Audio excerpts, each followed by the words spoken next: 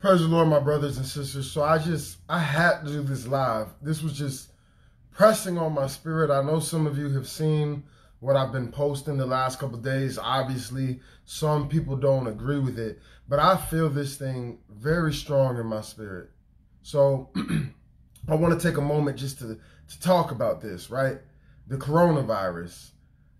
It's everywhere. Everybody's talking about it but if to me it's really exposing something in the church that just has me bothered right? And i'm i'm gonna just go straight in. Please don't get offended. You you know how brother marcus rogers is all right? If you've been following me you know how i am right? So i saw somebody post something in the comments and they said yeah you know it's a fact that the coronavirus is doing this and it's doing that and it's doing this and, and, and we got to be aware of this and I, I got all that okay? I, I I understand trust me. I got you guys. I got it. But this is what's irritating me about it okay? Okay it's a fact that it's contagious. Okay it's a fact that it's spreading. Okay it's a fact that people are dying from it. Okay it's a fact that the world is scared Okay, it's a fact. We see people with the mask on. Yes, this is a fact. But let me tell you something, church. It's also a fact that when David went to face Goliath, it was a fact that Goliath was big. It was a fact that if Peter stepped off that boat, he was probably going to drown. It was a fact that there were lions in that den where Daniel was about to get thrown in. It was a fact that if Shadrach, Meshach, and Abednego didn't bow down, they was going to get thrown in the fire. It was a fact that Jesus was going to have to go to the cross and he was going to get betrayed if he went into Jerusalem. But the Bible says he set his face as flint. See, this is the problem.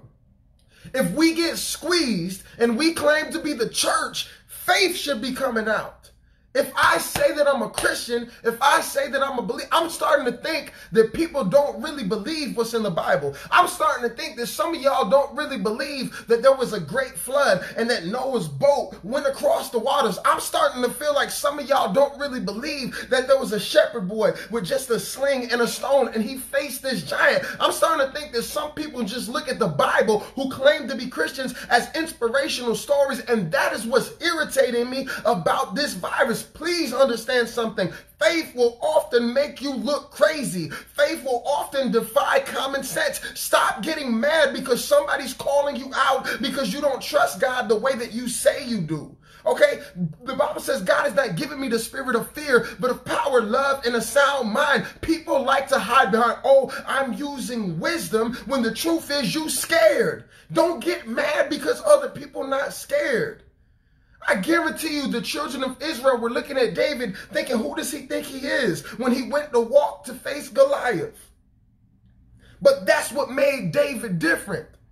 That's why David was chosen and set apart. And God is looking for some people. He's watching the way that we respond to the coronavirus. I, I said the other day, I don't want to follow no pastor who's shutting his church down out of fear. And some of y'all got upset. But if I believe that I'm covered by the blood, if I really believe that, then what am I worried about? And if I believe that God is in control, if I, I could get hit by a bullet right now, I could have whatever that God would allow to happen to me. He's in control. If I believe that, why am I going to walk in fear? Why am I going to walk and be afraid? Oh, I'm not going to travel. I'm going to close the church down. Now, here, check this out.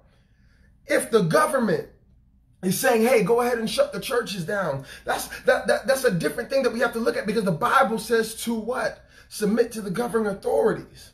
But for you to just be shaking in your boots and, oh, well, you know, there's the coronavirus and we got to shut the church down because I'm, don't, don't tell me that's wisdom. If you believe that we're covered, then we're covered. Don't allow fear to dictate what you do. And even if you go out and you catch something, God is in control.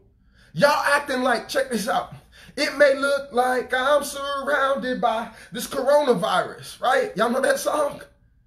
But even though the coronavirus is all around me, I'm still in the hand of God, and so is the coronavirus.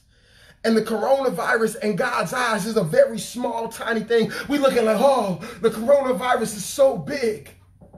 You know what you sound like? The children of Israel, when they went to the promised land and they went to spy the land and they said, oh, they're grasshoppers. They're too, they're too big. We can't beat this, right? That's why the Bible says Caleb was of a different spirit. Some of you need to start looking at this coronavirus and everything else that's going on in this world and let's see if you really believe what we say we believe.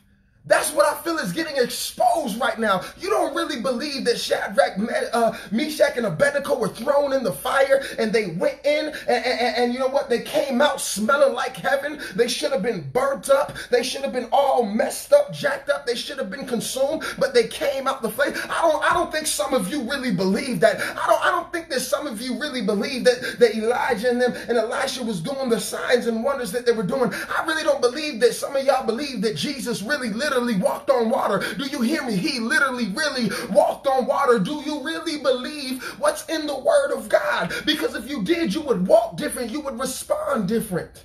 I'm not saying not use wisdom, but it's always wisdom. You use faith because the Bible says without faith, it is impossible to please God. God is looking at some of you and you look like punks. You look like cowards. And you know what? You know, some of you are going to get mad and you're going to get upset. But if you look in the Bible, Sometimes God dishes out correction like this. Some of you need a serious wake up call. If the coronavirus already got you punked, what happens when real persecution comes? See, the real problem is we've been so comfortable in America, we've become complacent. And this is why I've been telling you for the last six years, casual Christians will be casualties because you don't really believe the stuff you preaching. You don't really believe the stuff you singing. You really don't believe the stuff that you teaching. Been going to church your whole life. And the first moment you feel some pressure, oh, you just, just get all crazy. No, I believe that God got me. I believe that whatever happens, God allows it to happen. So wherever I walk, he already knew I was going to walk. He's the Alpha and the Omega. He's the beginning and the. Every decision I make, he already knew. The Bible says he's taken me to expected end. So I don't feel that there's a situation that I could put myself in that would cause me to die or that God didn't already know about. Do you believe it or don't you? Coronavirus.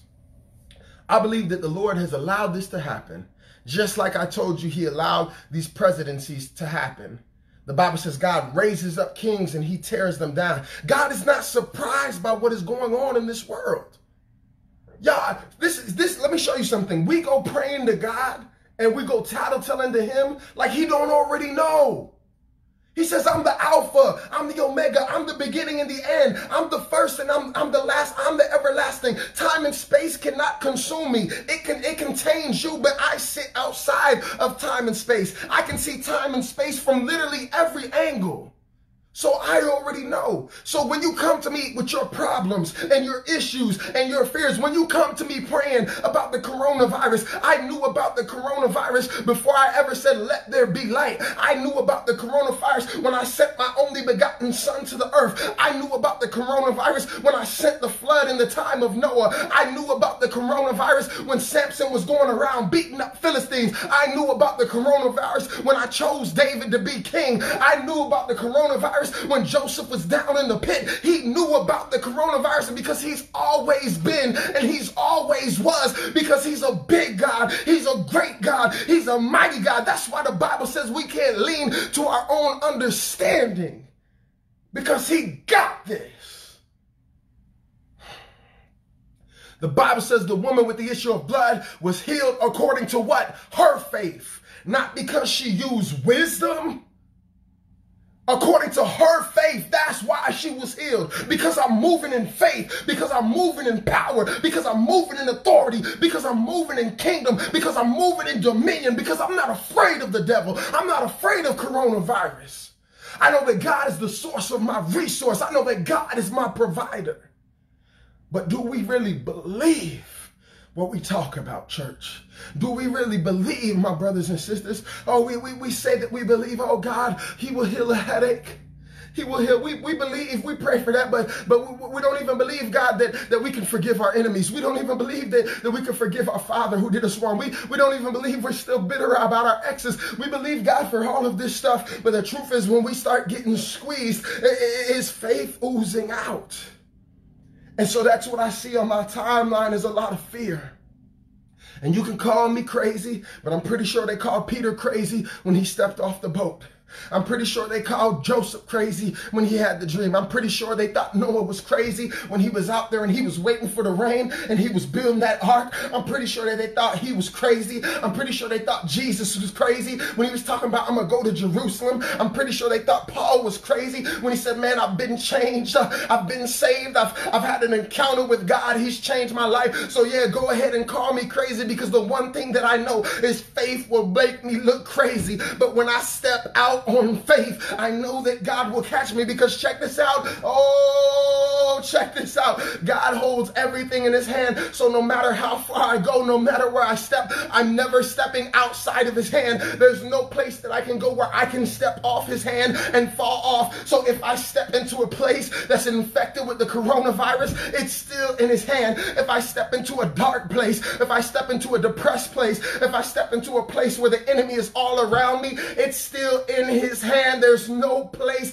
that I can step that is not in the hand of God, which means everything is in control. Everything, he has it in his control. That's why the victory belongs to him. It doesn't matter who's president. It doesn't matter what's going on in the world. It doesn't matter who threatens me. It doesn't matter who comes against me. It doesn't matter what the world is worried about. It doesn't matter what the world is stressed about because everything that's going on in this world sits inside the hand of God. And because I'm in the hand of God, I'm always surrounded by his love. His eyes are always on me. His peace is always with me. But I have to choose to be open up to it. In the name of Jesus, I come against this coronavirus right now. In the name of Jesus, I come against all fear and anxiety. In the name of Jesus, every single person that is on this live, begin to show yourself mighty in their life this week. In the name of Jesus, give us power, give us authority, give us the grace that we need to overcome. In the name of Jesus, allow us not to be afraid. Let us know that our hope is in you, our protection is in you, our peace is in you. In the name of Jesus, every broken heart on this life. Every every every person is going through something, everyone who's lost a loved one, everyone in a bad relationship, just getting out of a bad relationship. In the name of Jesus, let healing begin to flow. In the name of Jesus, let them feel your power. Go through this phone to where they are and wrap them in your arms and let them feel strength. And Lord God. Wrap them in your arms and let them feel peace, Lord God. Wrap them in your arms and let them feel love. Show yourself mighty to your people so that they walk in faith and not fear. In the name of Jesus, you be blessed. You be encouraged. The blessings, the favor of God is on your life. The love of God is on your life. No matter what else we face in 2020, remember I told you there was a collision coming. No matter what we face, God is in control. Share this video and be blessed in Jesus' name.